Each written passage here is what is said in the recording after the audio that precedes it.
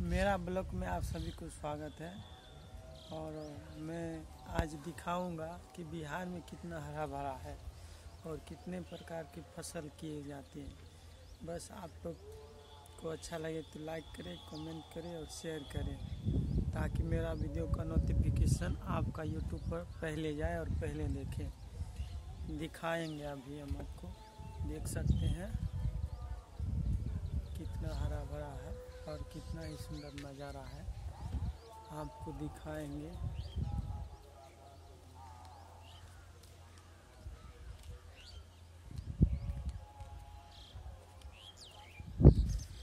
देख सकते हैं।